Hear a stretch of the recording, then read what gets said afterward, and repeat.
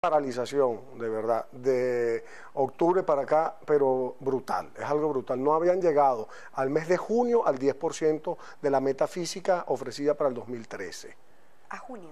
A junio. Ahorita. O sea, el mes pasado. El mes pasado. O sea que de las 380 mil unidades de vivienda que tenían ofrecidas por Gran Misión Vivienda para el 2013, nada más habían hecho 34 mil, menos del 10%. Eran 9 y algo por ciento. Hablamos de Carabobo. Eh, eh, a nivel nacional. nivel nacional. Esa, esa es la metafísica que De tiene 380 de Eso- 380 mil que se tenía para este año, en Carabobo, en, en- en Venezuela. En Venezuela. Nada más se habían construido un total de a 34 mil mitad unidades. de año solamente se tiene 34 mil unidades. Vamos a hablar de un 10% para hablar de números redondos.